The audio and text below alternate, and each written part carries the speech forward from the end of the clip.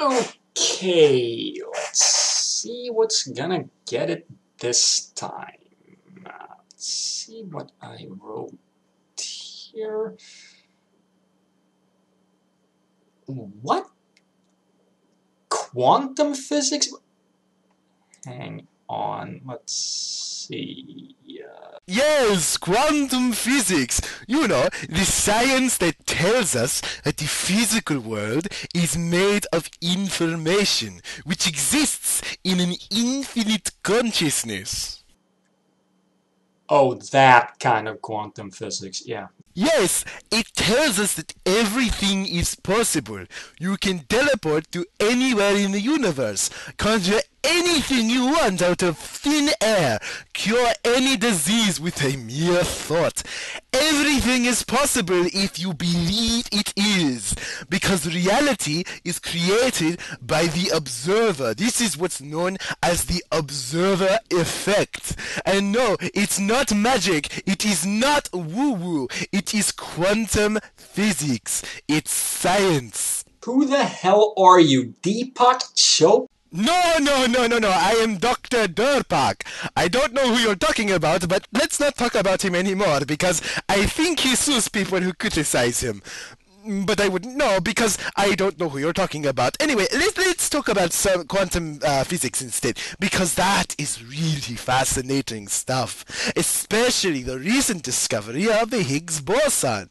Did you know that the Higgs boson was so hard to find because it keeps jumping in and out of the infinite void? Yes, it does the cosmic hokey pokey, you know. It goes in and then it goes out and then it goes in and then it goes out and it and, and then it shakes all about. It's sort of that's what we call a quantum fluctuation.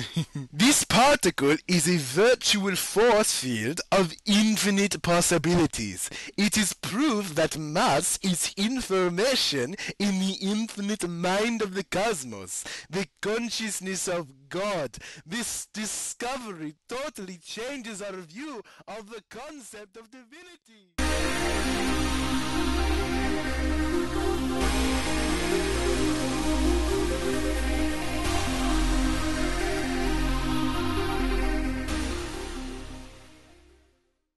Let's get this straight. Quantum physics isn't pseudoscience. It's the science that made modern electronics possible. The problem is that what Dr. Derpak described wasn't quantum physics, but a pseudoscience I call quantum physics abuse. The basic idea behind it is to take ideas that at least sound like they could be from actual quantum physics and use them to support unscientific and often downright stupid claims like proving the existence of God or getting people to believe in magic or to validate solipsism or some postmodern new age crap that basically comes down to knowledge is just opinion.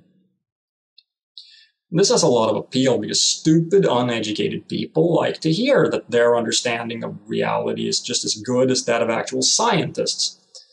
Throw in some garbage about how wishful thinking is all it takes to change reality, and you've got yourself a winning concept. Just start writing books and offering courses, and idiots who want to feel smart without actually having to educate themselves will throw money at you. Of course, the problem is it's bullshit, and I'm going to devote a few videos now to explaining just what's wrong with it. Now, because quantum physics isn't exactly something you can dive right into without a decent understanding of classical physics, not to mention math, I won't be trying to teach you quantum physics. Instead, I'll be focusing on showing you how to tell the difference between real quantum physics that's just above your head and the pseudoscientific butchering of it. Let's start with the obvious. What is quantum physics? Quantum physics, or quantum mechanics, is simply the branch of physics that studies things smaller than atoms. Quantum physics essentially began with the realization that energy comes in discrete units, or quantum. And this means that the equations of classical physics, which assume that quantities are continuous, simply don't work when they're applied to things that are really, really small. When these discrete units of energy, thought of as waves, were studied, it was realized that they also behave as particles. It turns out that the wave is nothing more than a mathematical description of the probability of a particle being found in a particular state. I know that sounds pretty weird and it's kind of hard to grasp without a proper understanding of the math behind it. So don't try.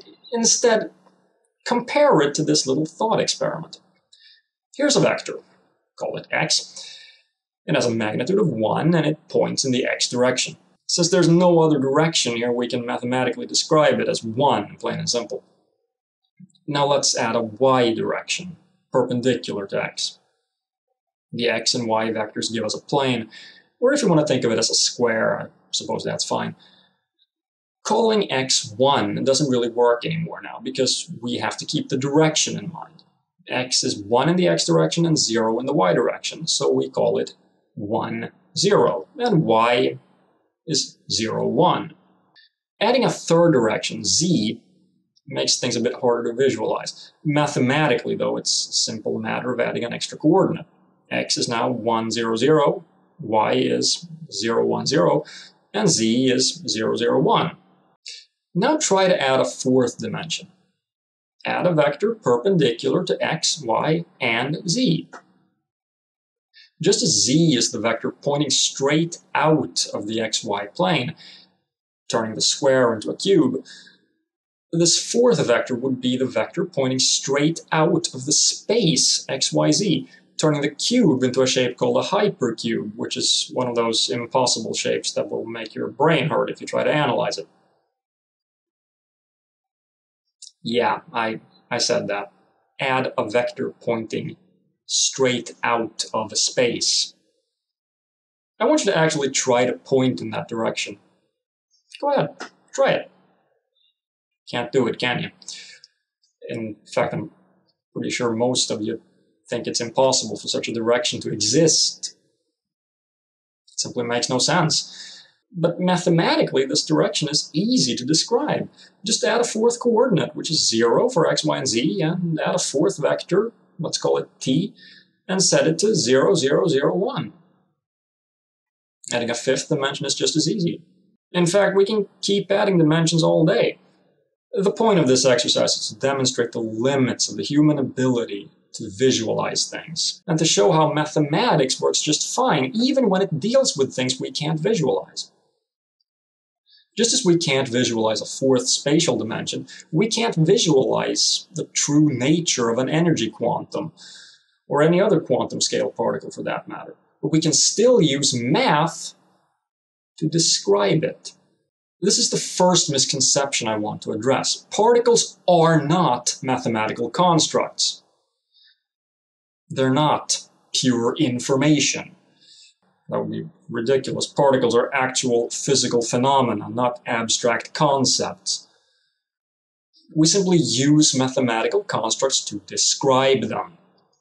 We really don't have a choice. The quantum world is simply too far removed from the reality we perceive through our senses. That leads to another misconception. They say that if we can't understand something intuitively, then we can't know anything about it.